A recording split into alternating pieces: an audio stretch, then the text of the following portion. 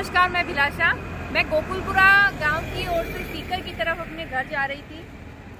तो मैंने देखा रास्ते में यहाँ पर ये रामदेव जी के घोड़े, ऊँट गाडे, ट्रैक्टर, ट्रॉलियाँ ये रखी हुई थी तो मैंने गाड़ी रोकी क्योंकि मुझे मेरा बचपन याद आ गया। मैं जब छोटी थी तो मेरे मम्मी पापा मुझे रूणीजा, रामदेवरा लेकर जाया करते थे तो वहाँ पर ये घोड़े मैं हमेशा अपने खेलने के लिए लेकर आती थी और अभी भी मेरे घर पे आपको ये रामदेव जी का घोड़ा देखने को मिल सकता है। मुझे बचपन से ऐसी चीज़ों का बहुत शौक रहा है।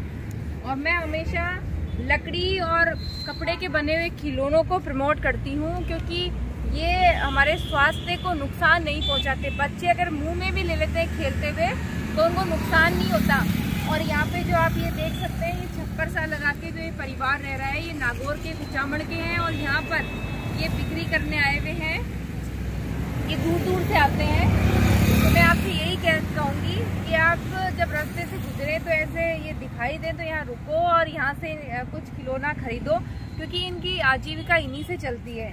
तो हम बड़े बड़े शोरूम में जाते हैं, वहाँ पर हम महँगे महँगे खिलौने खरीद के लाते हैं। उनसे बेटर है कि आपको ये सही दामों पर आपको देंगे। तो इनका भी घर खर्च है ना, वो आसानी से चलेगा।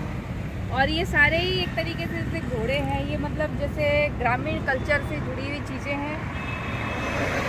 ऊँट गाड़े हैं, बहुत ही सुंदर ऊँट गाड़े यहाँ पर हैं।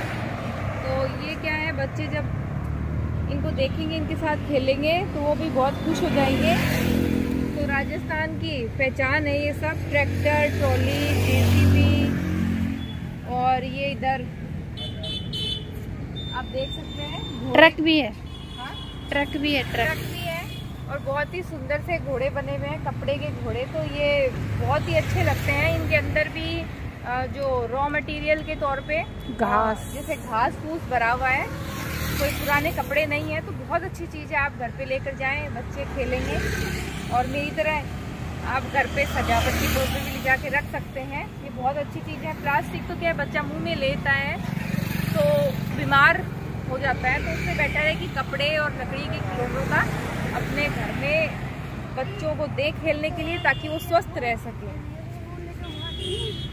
इनके भी देख सकते हैं, तीन छोटे छोटे बच्चे हैं और इनका पूरा घर खर्च जो है, ये इसी से ही चलता